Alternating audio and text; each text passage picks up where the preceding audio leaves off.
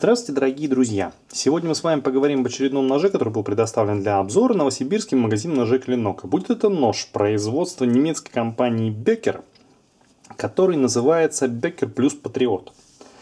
Прежде чем показать вам сам нож, как я обычно это делаю, хочу сказать ну, кое-что о нем заочно.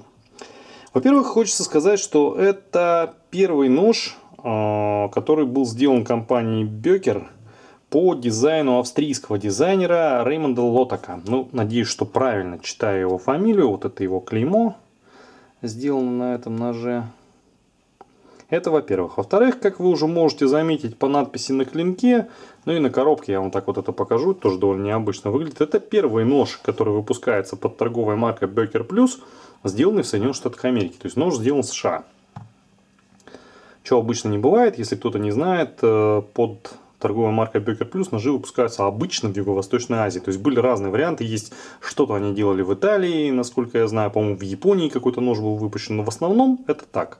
Это первый нож, который сделан в США. Вот, то есть это вот такие два момента, которые этот нож делают первым в чем-либо. То есть видите, здесь тоже надпись Becker Plus USA. Вот. Э, ну, я думаю, что начать, наверное, стоит со следующего. Вы видите тактико-технические характеристики ножа в кадре сейчас, но я не могу удержаться от того, чтобы нож в кадре не взвесить, потому что взвесить его конкретно стоит. Вот так весит этот нож. 66 грамм приблизительно. А, нож, скажем прямо, конечно, может быть не абсолютный рекордсмен, но точно, что для среднеразмерного складного фолдера, коим он является, ну, является как минимум очень легким ножом. Вот с этого мы, наверное, начнем. Давайте поговорим об этом ноже, посмотрим на него немного поближе. Я поделюсь с вами своими первыми впечатлениями об этом ноже. Рукоять у него сделана из пластика. Это не G10, как вы можете видеть, а именно такой термопластик. Сказать, что оно имеет какое-то запредельное там качество подгонки на рукояти, вот спейсер, допустим, здесь вставлен, да, ну, здесь нельзя. Но это, кстати, нормальное такое качество производства, которое бывает у американских производителей. То есть я здесь такого вот ничего страшного не вижу, да, мы с вами имеем дело с довольно недорогим ножом американского производства. Клипса. Клипса очень, кстати, рабочая, очень комфортная, очень легко отгибающаяся и очень плотно держащая вот этот очень нетяжелый нож. Может быть переставлен на другую сторону. Крепежка клипсы такой немного необычный. Он, скажем так, не представляет из себя какого-то чуда а, инженерной мысли, но тем не менее обычно делают по-другому. Клипс переставляется для левши, но ношение всегда предусмотрено тип-ап.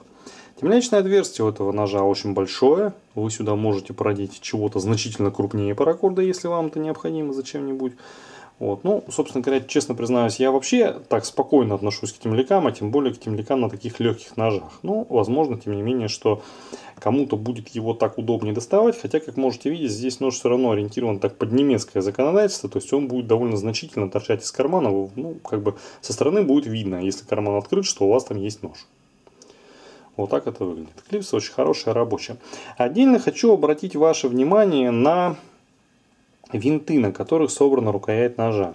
Первое, что интересно, это то, что в осевом узле не использована какая-то более мощная втулка, чем те, на которых ножи, нож собран вот так. Ну, по крайней мере, на первый взгляд. Не разбирать его, конечно, не случалось, но, как видите, здесь совершенно одинаковые винты по внешнему виду. Не думаю, что это обман какой-то, скорее всего, здесь одинаковая фурнитура что дает предполагать, ну, дает возможность предполагать, что а, в случае каких-то бешеных ударных нагрузок во что-то твердое будете бить, э, севой узел ну, не является каким-то особо прочным. Что, в общем-то, по большому счету подчеркивает назначение ножа, потому что я думаю, что вы видите, что это резак.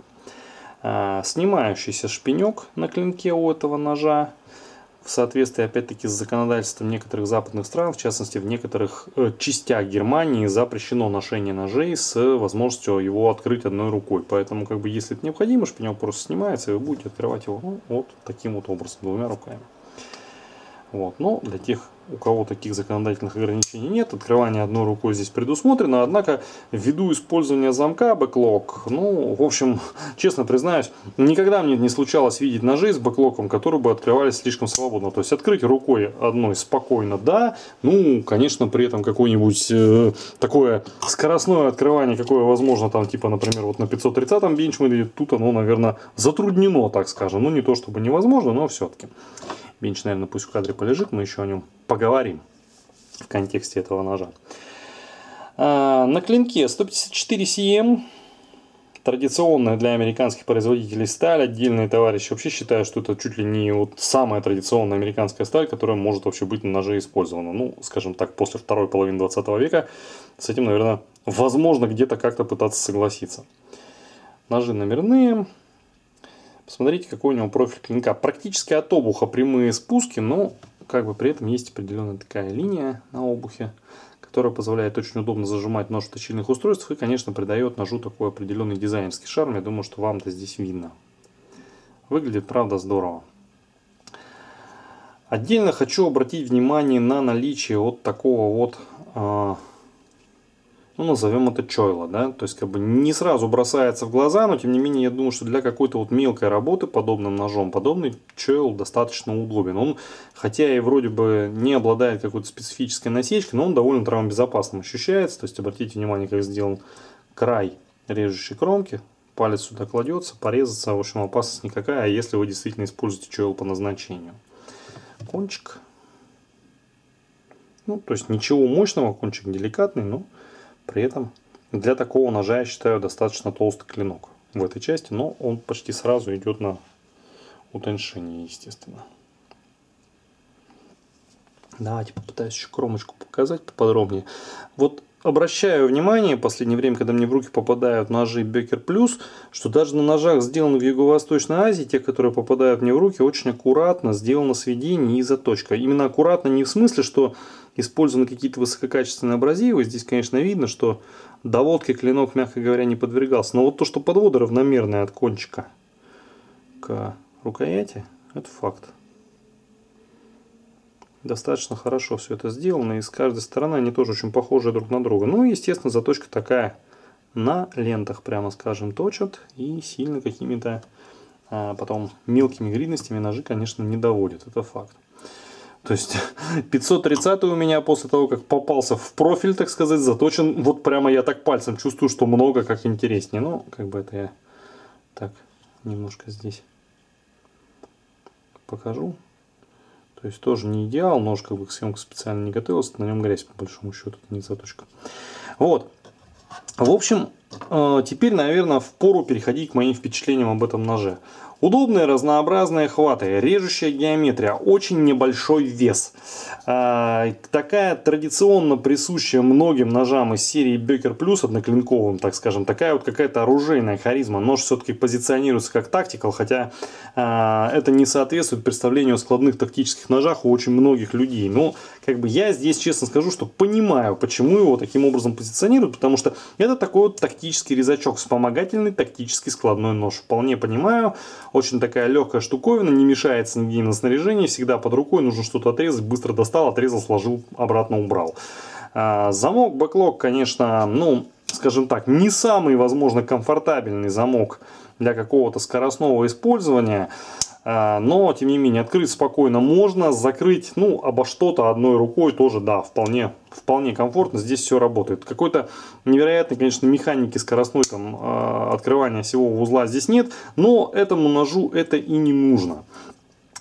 Хочется сказать про него такую вещь. Вот э, как бы среди тех ножей, которые сейчас есть в моей коллекции, наверное, ему бы конкурентом мог бы быть 530 бенчмейт. Да? Тоже нож сделан в Соединенных Штатах Америки, аналогичная сталь. Э, очень похожие массогабаритные размеры. Но здесь хочется заметить такую вещь. Э, Патриот это нож, который хотя и сделан, ну скажем так, на похожих аналогичным технологическим способом, это нож, наверное, все-таки несколько менее традиционный, во-первых, чем э, известный нож Мелопардью.